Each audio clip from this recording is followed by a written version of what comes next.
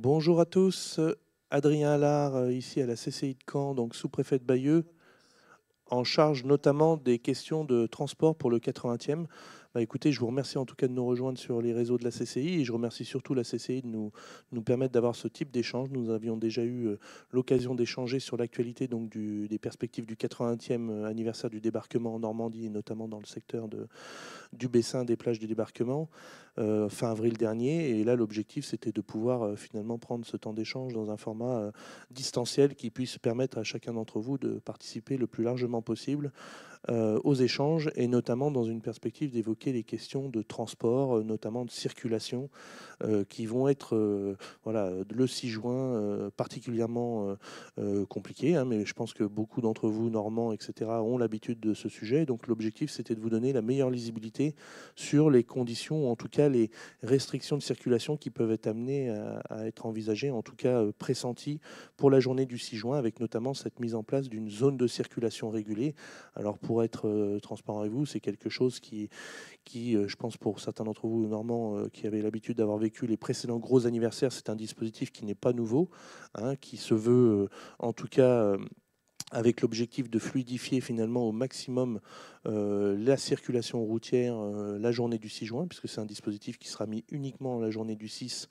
de 6h à 22h, 22h étant une limite euh, haute à ce jour, hein, mais qui, qui pourra éventuellement, en fonction du déroulé des événements, être raccourci et, et levé euh, dès que les événements ont été aboutis. Mais euh, donc c'est un dispositif, cette zone de circulation régulée, qui est un périmètre hein, qui est défini, mais qui ne se veut pas du tout à vocation de sécurité, mais uniquement à vocation de faire baisser les flux de circulation, avec l'objectif du coup de sur cette zone qui concerne essentiellement le Bessin, on va avoir une cartographie par la suite, mais qui, qui veut finalement permettre aux, personnes qui ont une nécessité d'accéder à cette zone euh, de par le fait qu'elles y habitent ou qu'elles y travaillent, euh, soit qu'elles y habitent de façon permanente en tant que euh, résident du Calvados, soit finalement aussi résidents temporaires, vacanciers, etc., qui ont finalement nécessité en tout cas de pouvoir circuler librement le 6 juin dans la zone.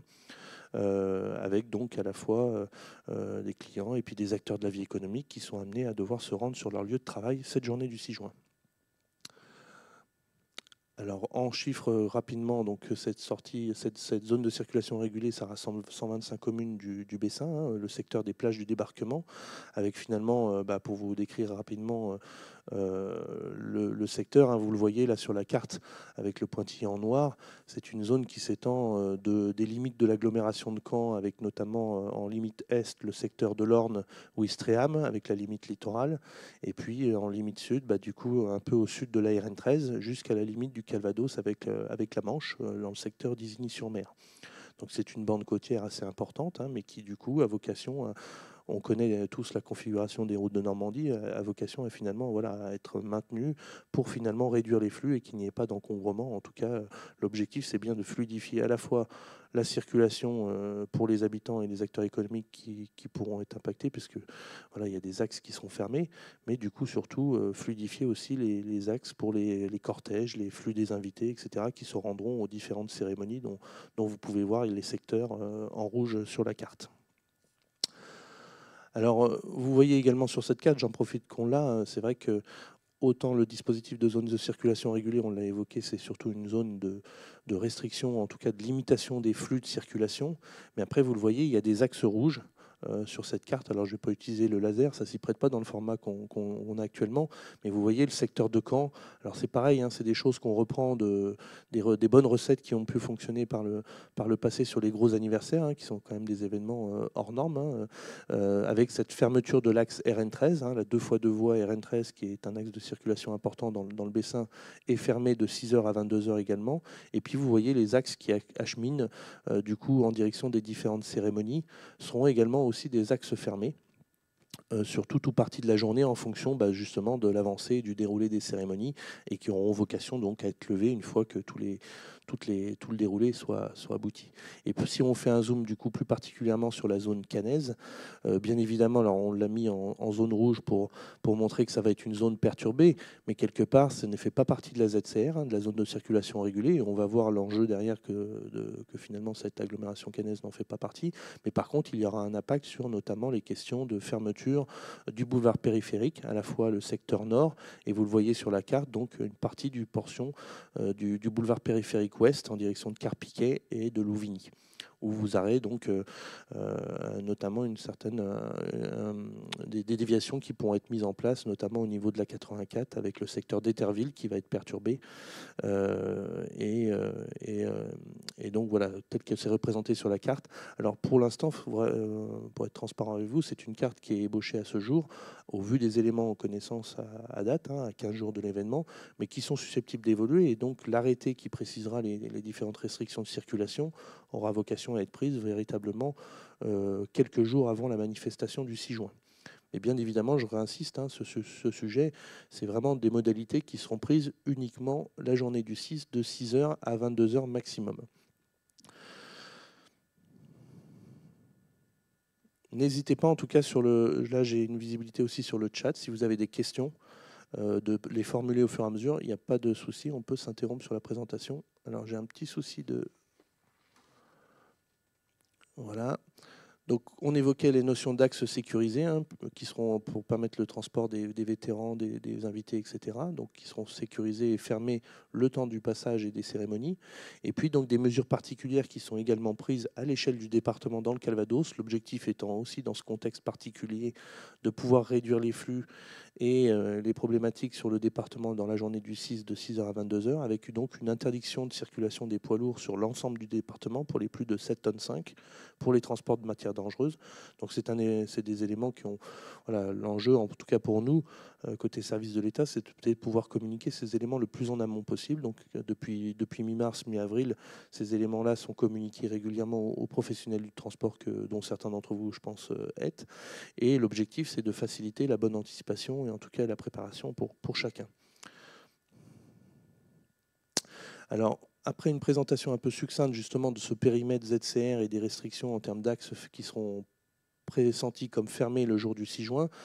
bah, finalement, comment permettre finalement aux personnes qui peuvent rentrer dans cette ZCR de pouvoir y circuler C'est bien par l'intermédiaire du stickage. Je pense que euh, pour ceux qui connaissent bien en effet les précédents anniversaires, vous avez eu l'habitude d'avoir ce type de... On en voit encore d'ailleurs, hein, des, des, logos et des stickers du 70e ou 75e. Et c'est vrai que voilà, cette vocation a volonté à identifier finalement les véhicules euh, facilement, hein, qui puissent rentrer dans la ZCR du fait qu'ils habitent ou qu'ils y travaillent. Euh, vous avez donc un ensemble sur le diaporama, je pense, qui vous sera transmis par la suite. Vous avez un ensemble de précisions euh, sur euh, la nécessité, ou en tout cas l'obligation d'avoir ce sticker la journée du 6 juin pour pouvoir circuler librement. sachant que du coup ça concerne uniquement les véhicules hein, motorisés et pas, pas du tout piétons, vélos, trottinettes, il n'y a, pas de, a pas de problématique là-dessus. De la même façon, qui est concerné par le stickage bah, Forcément, les personnes qui sont éligibles à circuler librement dans cette ZTR, donc je ne vais pas me répéter. Et, euh, et, dans quel cas le stickage n'est pas obligatoire Alors, il faut, il faut le reconnaître, hein, si vous êtes amené à juste circuler au sein de la zone sans en sortir, vous n'avez pas forcément besoin de faire la démarche. Et bien évidemment, il est beaucoup plus simple euh, et vous n'avez pas nécessité en tout cas d'avoir un sticker si vous êtes dans une logique à vouloir juste sortir de la zone sans vouloir y re-rentrer pendant la, période horaire qui a été précisée.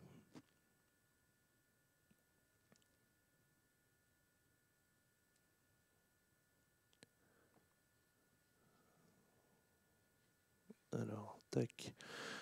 Donc sur les modalités de pouvoir obtenir la façon d'obtenir le stickers, euh, je pense que bon nombre d'entre vous ont sûrement déjà fait la démarche puisqu'elle est, possible d'être réalisée depuis, depuis fin avril avec le départ des vacances scolaires, donc euh, notamment par l'ensemble des mairies, les 125 communes concernées par, cette zone de circulation régulée pour les habitants ou les personnes qui travaillent sur le secteur,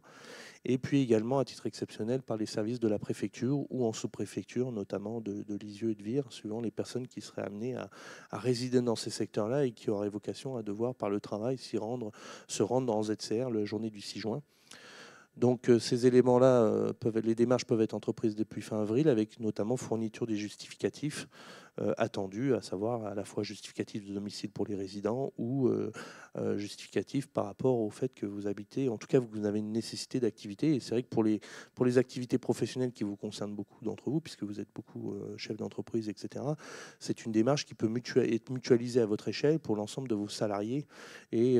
et personnes qui sont amenées à se rendre sur les sites de vos entreprises en, en ZCR.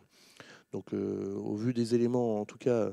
euh, les retours que nous avons actuellement, euh, il y a bon nombre d'acteurs d'entre vous qui ont déjà fait ces démarches-là, mais vous avez encore jusqu'à fin mai et jusqu'au 4 juin, je crois, dans les mairies, mais en tout cas fin mai en, préfecture, au 31, pour, donc fin de semaine prochaine, pour, pour effectuer les demandes sur, le, sur, sur la demande de stickers.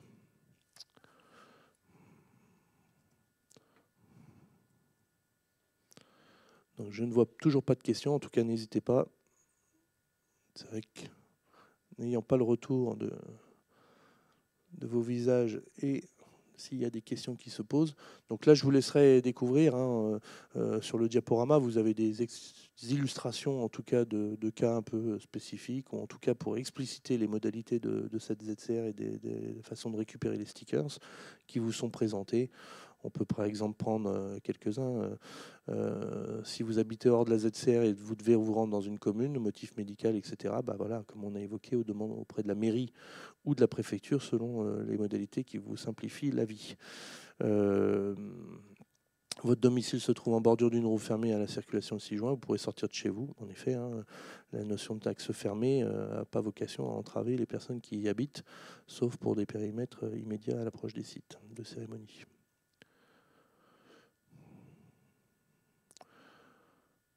Alors bien évidemment, tout ce dispositif, vous voyez bien que l'objectif, c'est de faire baisser le nombre de véhicules et de personnes qui circulent dans la ZCR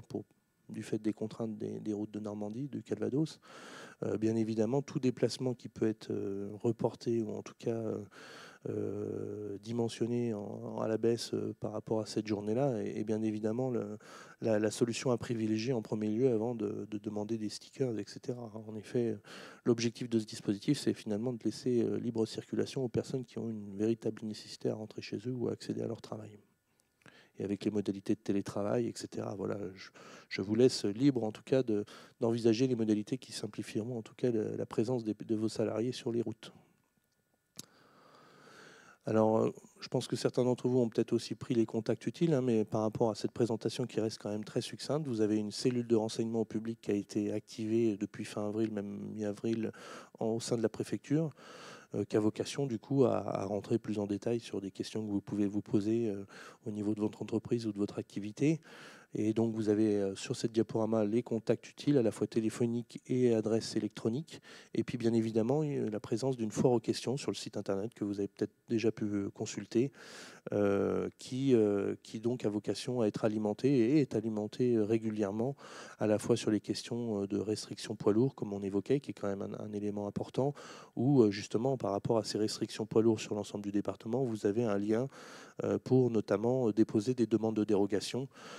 l'image de ce qui peut déjà être pratiqué dans le cadre des dimanches ou des jours fériés. Vous avez une instruction qui sera faite par les services de la direction départementale des territoires et de la mer du Calvados, la DDTM,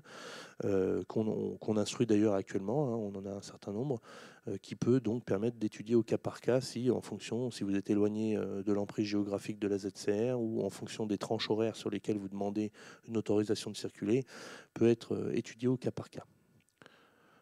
Alors je vois une question, comment faire pour les étrangers qui désirent se rendre dans la ZCR ou possédant ou non une convocation officielle? Alors euh, pour être sûr de bien comprendre la question,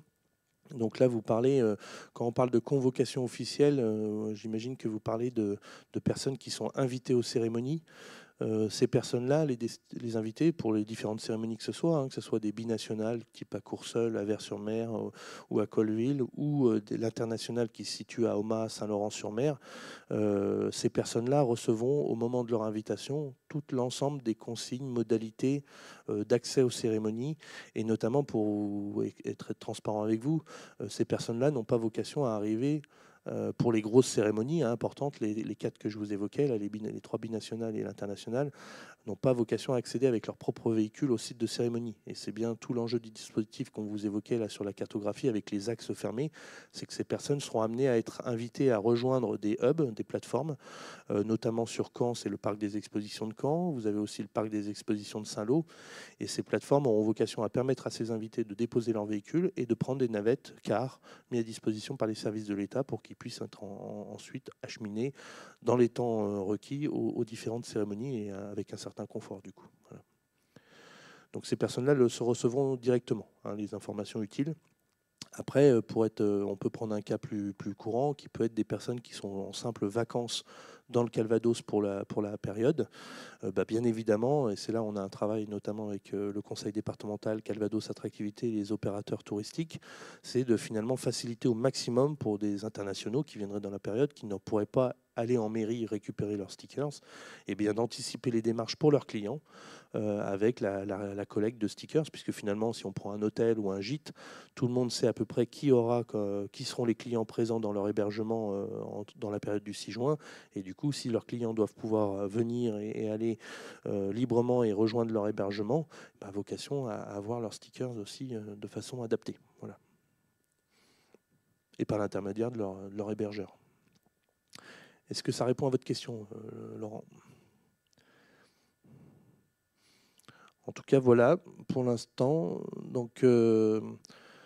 euh, vous avez encore quelques précisions là qui vous sont apportées, mais c'était à peu près tout ce qu'on avait prévu dans le diaporama. Donc, je ne sais pas s'il y a d'autres questions ou, des souhaits de précision par rapport à ce qui vous a été présenté très, très succinctement. Hein. En tout cas, en tout cas, voilà, l'idée, c'est que vous avez les contacts utiles je remercie également la CCI, en tout cas, euh, qui fait un relais important euh, d'information auprès de, différentes entreprises du département. Euh, donc voilà, c'est important. Et puis bah, l'objectif, là, c'était qu'on était un 15 jours de refaire un petit point actualisé, notamment sur les restrictions de circulation, les axes fermés que je peux vous remettre en, visibilité. Mais, bien évidemment, le sujet a déjà beaucoup été anticipé par bon nombre d'entre vous. Voilà.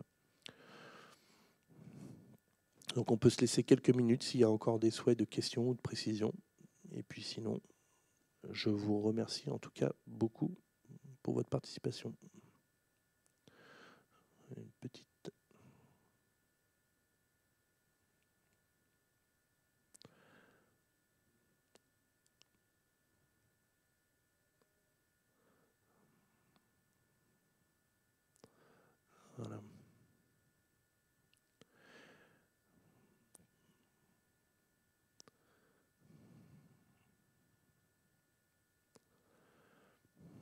Pas de regret bah, Écoutez, merci pour ces informations. Bah, écoutez, c'est très bien si en tout cas les, éléments qui vous ont été présentés étaient suffisamment détaillés. Hein, je pense que pour bon nombre d'entre vous, il n'y a pas forcément beaucoup de nouveautés, hein, révolution dans la matière. Euh. Après, la particularité de ce 80e anniversaire, la complexité en tout cas de l'organisation pour les services de l'État et les partenaires que, nous sommes, c'est bien évidemment c'est que c'est le 80e et que du coup, euh, notamment pour le public de vétérans, c'est l'un des derniers anniversaires où, on aura une participation en nombre de, de, ces témoins de la libération, avec bah, bien évidemment près de 200 vétérans qui sont tous centenaires. Donc il y a vraiment véritablement un enjeu dans la programmation et dans le déroulé de ces événements qui n'est pas, qui n'est pas de la simplicité peut-être qu'il y a 20, 30 ans où on pouvait programmer la journée. Euh, voilà, donc là, c'est vrai qu'il y a une complexité supplémentaire par rapport à cet anniversaire du fait que ces personnes méritent d'être transportées, en tout cas, euh, en tout cas euh, préservées, en tout cas dans le déroulé de la journée complète, et qui engendre donc un certain nombre de contraintes d'organisation logistique, etc., mais qui, j'espère, ne vous impacteront voilà, que modérément dans votre activité quotidienne et dans votre fonctionnement dans le Calvados. Et puis ça reste une journée. Voilà. Merci à vous. Bah, je vous souhaite une bonne journée et puis bah, gardons le contact par l'intermédiaire de la CCI ou par les services de l'État et les contacts qu'on vous a donnés. Bonne journée à vous. Merci.